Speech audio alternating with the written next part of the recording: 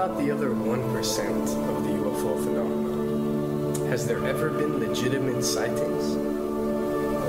As promised, we're going to cover this 1% in a future episode. But I'll share with you something a wise man once shared with me.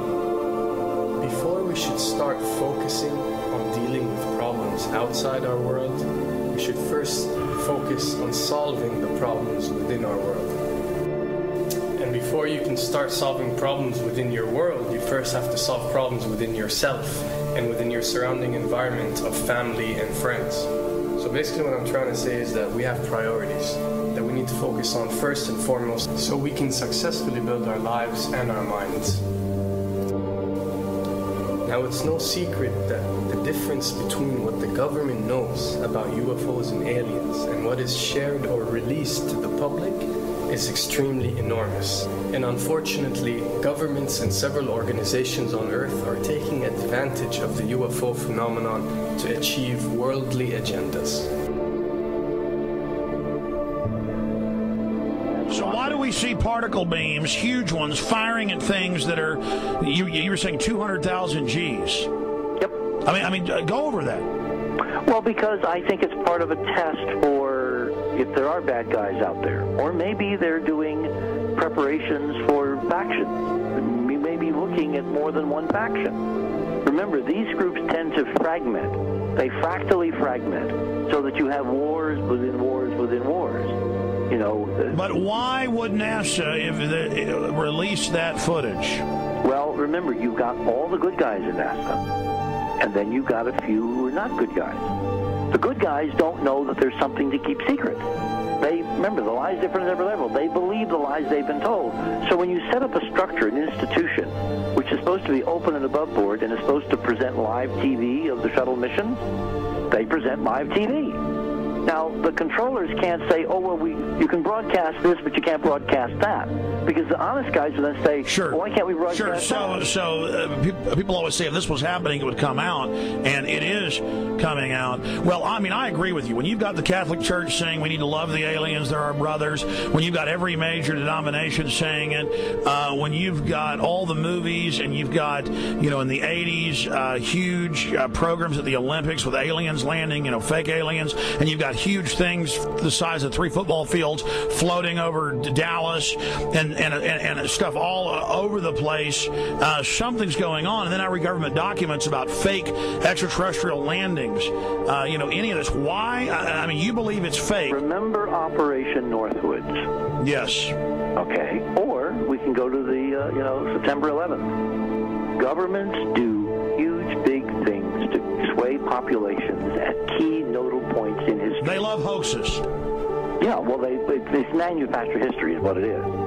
We are building. I mean, all my UFO friends, I, I, I need to shake them because they're so, frankly, they're extremely naive, Alex.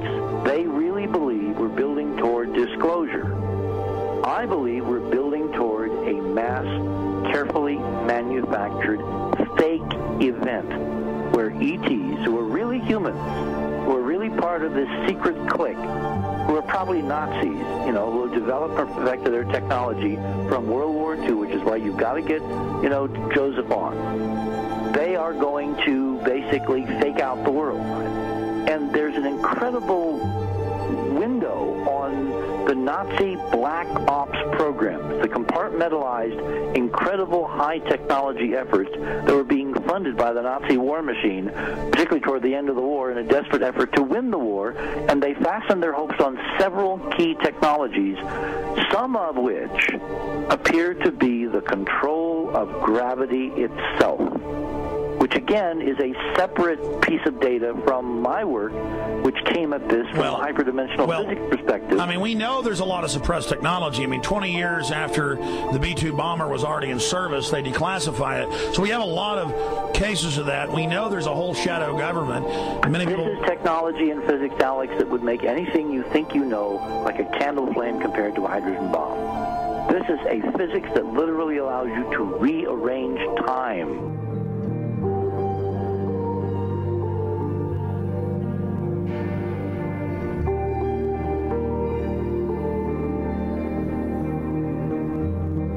But I mean, getting imagine you've got all these compartments in these pyramids, pyramids within pyramids of compartmentalization. That's why that's the New World Order symbol. And regard, I mean, we don't know what they've got because they are so secret. We know they lie so much. We just know it's advanced. Mainline scientists say they're 30 years advanced. So, so, so, Richard C. Hoagland, what I'm saying to you is, I'm entertaining what you're saying. I respect you. I think you're a great guy. Uh, uh, my only issue is, like you said, dealing with what we know uh, they could be up to. Uh, the fact, Alex, we have done experiments. We have our own data. We have experiments now from the Soviet Union 30, 40 years when the when the Iron Curtain came down, you know, when Glasnost finally prevailed, a huge amount of stuff was declassified from the KGB as well.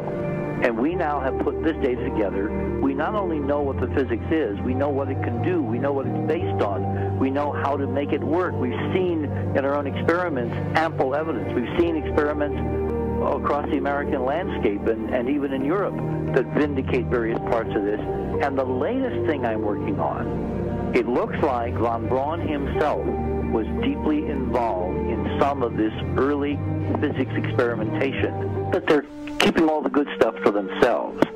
The reason is got access to the good stuff, if we got access to the technologies, the energy, you know, we wouldn't be worried about four dollar, five dollar a gallon gas or ten dollar a gallon gas. We would we would live like people are supposed to live.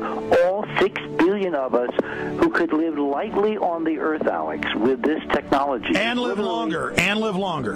Absolutely, and better, and you know, you could live to two, three hundred and have the have the virility of your twenties and thirties.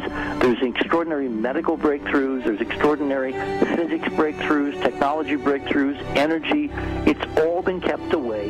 Think about it. We're already on a planet hurtling through space, all these wonders around you, and you've been taught it's bizarre to question, and that's because there's so many kooks in the alternative movement who do talk about ridiculous, you know, Hollywood style green men instead of really looking at the shadow government and all these crazy secret societies that are admittedly running NASA and the shadow government. Ladies and gentlemen, during this talk that I'm going to give you, I'm going to explain to you the history of this phenomenon, who the secret government really is, and I will name them by name, beginning group, the study group. I will tell you who they are today. I'm going to tell you what this is all about. I'm going to tell you who's selling drugs to your children.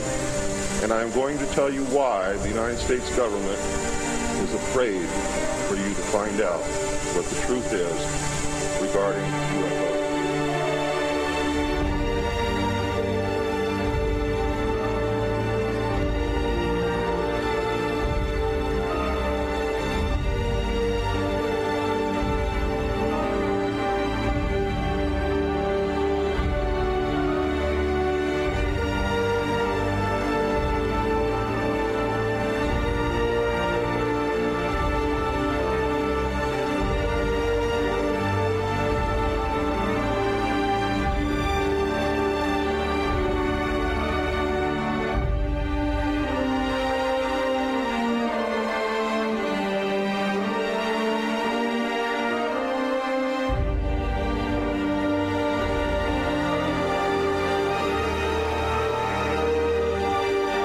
Turns out that even though she remembered that she'd been part of the team to debrief the astronauts, she couldn't remember a thing that they said.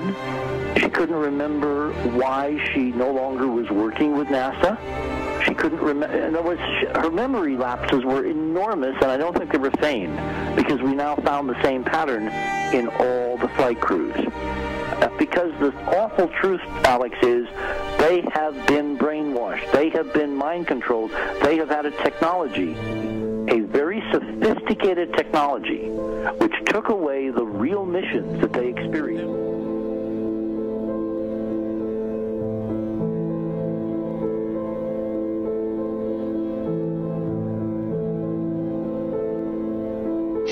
Sorry.